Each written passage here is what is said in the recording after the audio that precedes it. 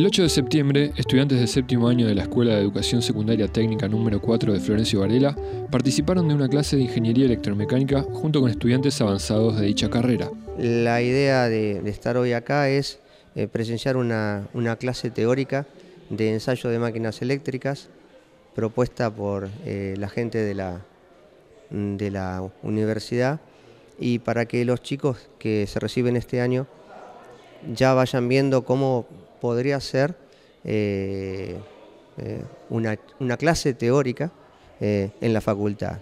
Y bueno, y de paso este, que conozcan la facultad, que conozcan el laboratorio de máquinas eléctricas, bueno, que, vean que también la facultad le puede ofrecer otras alternativas, no solo la ingeniería eléctrica, que tengan contacto con otra gente que tengan contacto con otros alumnos. Eh, está muy buena la clase porque hay alumnos de cuarto año y, ven cómo es la dinámica de la clase, cómo, cómo se relacionan los alumnos con los profesores. Eh, creo, que eso es, creo que eso está bueno.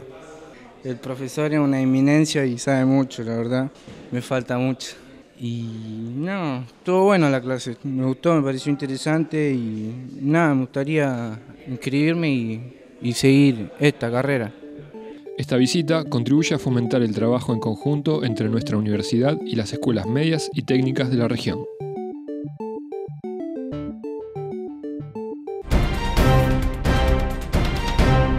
El miércoles 9 de septiembre a las 13 horas, en el auditorio de la Universidad Nacional Arturo Jaureche, se llevó a cabo el concierto de la Orquesta Infanto Juvenil El Alpino.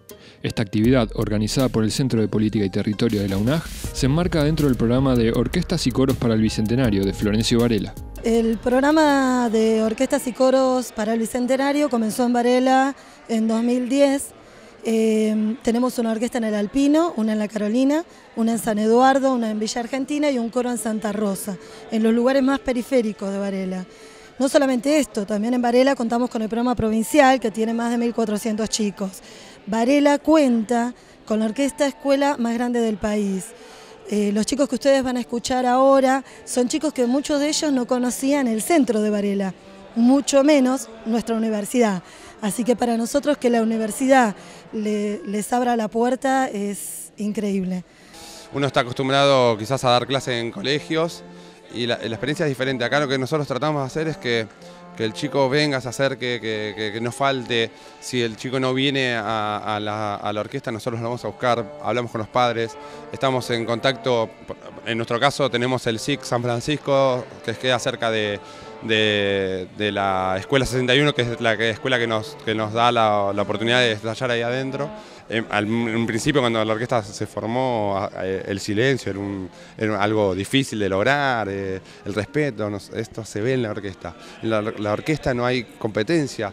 Acá si vos querés tocar más fuerte que tu compañero, arruinás la obra. Entonces vos tenés un lugar para tocar más fuerte, otro para descansar, otro donde no tenés que tocar y tenés que estar callado. Y toda esa comunión que hay en la orquesta me parece que, es raro de ver en, otro tipo de grupos. La verdad que eh, yo hasta que no entré en este, este tipo de programas, este, mm, no, bueno, no lo conocía y estoy maravillado con las cosas que, se logran. La verdad que es, algo hermoso, mm, es sumamente gratificante.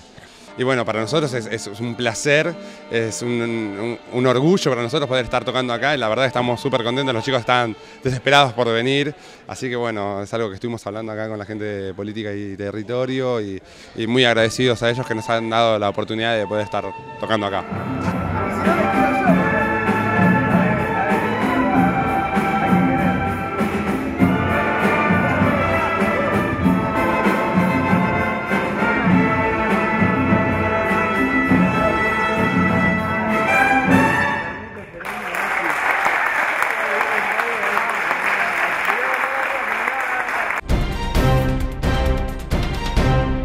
Marco de la Semana Nacional del Emprendedor Tecnológico, se realizó el lunes 14 de septiembre en la sala del Consejo Superior de nuestra universidad la actividad promoviendo emprendimientos de base tecnológica en la economía social. Son eh, instancias en donde se pusieron en marcha diferentes proyectos que están eh, apoyando a iniciativas emprendedoras. Generalmente son todas iniciativas de cooperativas de trabajo que están desarrollando estos proyectos y también se va a hacer una actividad de un taller donde se arma un canvas, que es un, es un programa en el cual nos permite ir viendo qué tenemos eh, como debilidad eh, dentro de nuestros proyectos y con qué podemos contar para, para llevarlo adelante. Creo que es una actividad que debería desarrollarse más en todas las universidades. No todas las universidades pueden participar de esta jornada. Hay una selección de entre 30 y 40 universidades solamente que participan. Eh, importancia nosotros desde UNAG le damos muchísima porque está directamente relacionado a actividades con el territorio. En la primera instancia cuando lo realizamos en el año 2013 fue dirigida a cooperativas y a docentes que daban cátedras de economía social en el programa FINES. Este año lo estamos haciendo eh, contando las experiencias de las, cooperativas de trabajo y emprendedores que accedieron a, financiamiento y hoy están desarrollando esas actividades. Entonces un poco es contarle al territorio las herramientas que tienen para poder fortalecer sus, sus emprendimientos. Dicha actividad estuvo organizada por la carrera de Ingeniería Industrial de la Universidad Nacional Arturo Jaureche y la Secretaría de Planeamiento y Políticas del Ministerio de Ciencia, Tecnología e Innovación Productiva de la Nación. Thank you.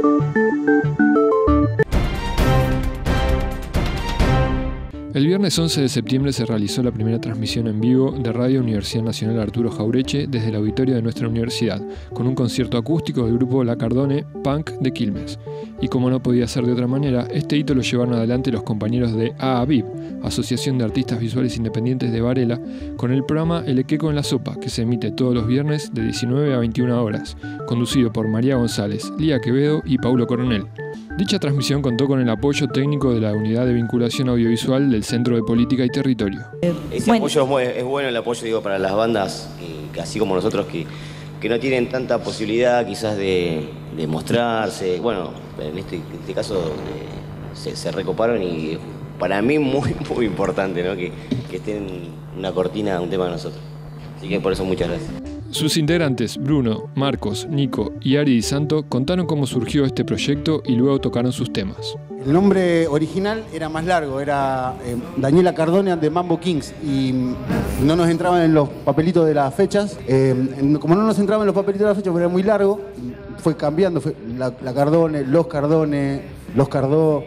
Eh, y cuando tuvimos que hacer la gráfica del disco,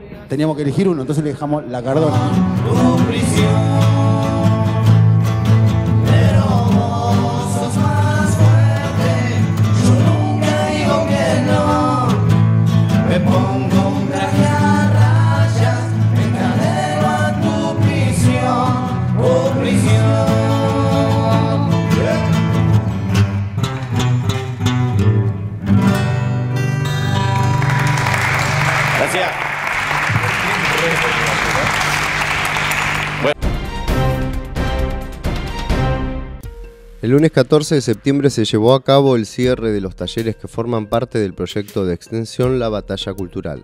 Desde las 17 horas, en el auditorio de la UNAG, se generó un diálogo con los artistas Javier del Olmo y Claudio Mangifesta, quienes están exponiendo sus obras respectivas en los pasillos de nuestra universidad. Los asistentes disfrutaron también de la muestra de los alumnos de la Cátedra de Música Popular de la Escuela de Arte de Florencio Varela. La carrera de Música Popular se divide en tres áreas, el área de jazz, el área de tango y el área de folclore. ¿sí? Entonces los alumnos cuando terminan la FOBA, hacen el ingreso en el primer año de la carrera, cursan las tres materias, tango, eh, jazz y folclore.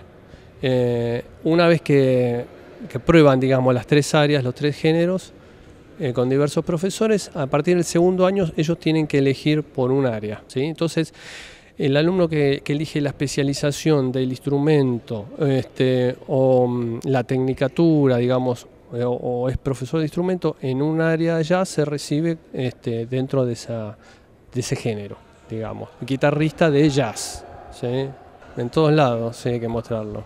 Hay que difundirlo porque aparte es una carrera que todavía es, muy nuevita, no hay muchos lugares que las tengan. Este, y los lugares entre sí están muy alejados, acá el, más cercano es el de Avellaneda. Este, lo cual no es nada cerca tampoco. El proyecto de extensión La Batalla Cultural cuyas actividades son gratuitas y abiertas a la comunidad, tiene como objetivo el fortalecimiento y vinculación comunitaria entre el Centro de Política y Territorio de la UNAG, la Escuela Municipal de Bellas Artes de Quilmes y la Escuela de Arte, República de Italia de Florencio Varela.